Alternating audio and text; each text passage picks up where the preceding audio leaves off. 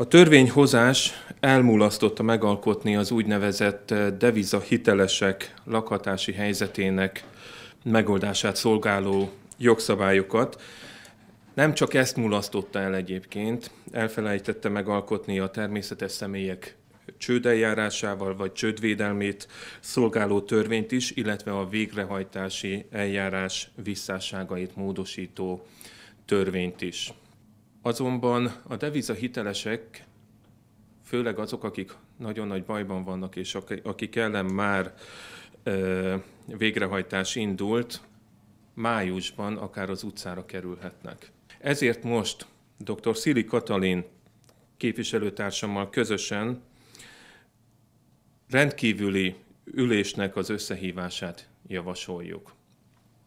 Az országgyűlés rendkívüli ülésének a, a napirendi pontja pedig a bíróság végrehajtásáról szóló e, törvény módosításáról szólna, mégpedig a kilakoltatási moratórium meghosszabbításának az érdekében. Májustól tömegek kerülhetnek az utcára. A mi javaslatunk az, hogy a parlament üljön össze újra, alkossuk meg azt a jogszabályt, amely ezt a moratóriumot 2014. szeptember 30-áig kitolja.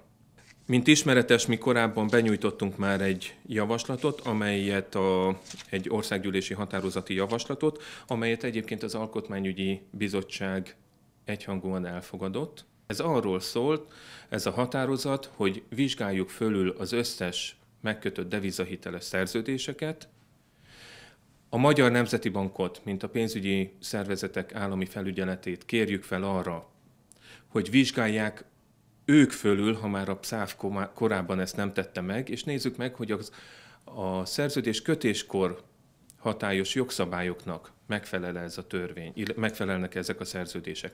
Meggyőződésünk, hogy nem. Képviselőtársaim, illetve képviselő jelölt társaim nem csak a kampányukban akarják használni, nem csak a szóróanyagukon akarják felhasználni azt, hogy ők mindent megtesznek a devizahitelesekért, akkor kérem szépen most itt a lehetőség, ahhoz, hogy rendkívüli ülésnap e, kerüljön összehívásra, ehhez 75 e, képviselőnek a, az aláírása szükséges. A civil demokrácia rajtunk múlik.